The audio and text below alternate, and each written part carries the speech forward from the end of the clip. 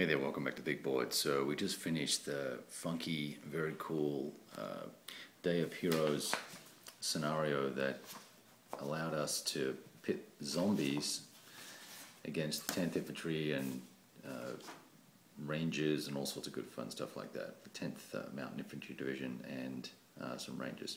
So anyway, the good news was in the Day of Z scenario that the good guys won.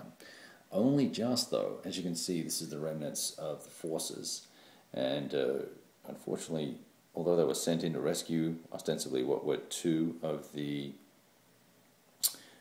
uh, or four, actually, four squads of National Guard, only two of them made it out. So this is a lot of fun. Pretty straightforward set of rules. These are the losses. We actually were supposed to end at turn 10 but we kept on going because I wanted to see who would uh, who would prevail. And once you work out a strategy to fight the Zeds, then it's all pretty straightforward. Uh, best idea, the way I could, uh, way it plays out in this game anyway, is let them get in close and then opportunity fire when they're adjacent, and use the minimum amount of force uh, possible, and then uh, take your chances on that. Unfortunately, that doesn't always work out, and you end up in melee, and melee is ugly. As you can well imagine.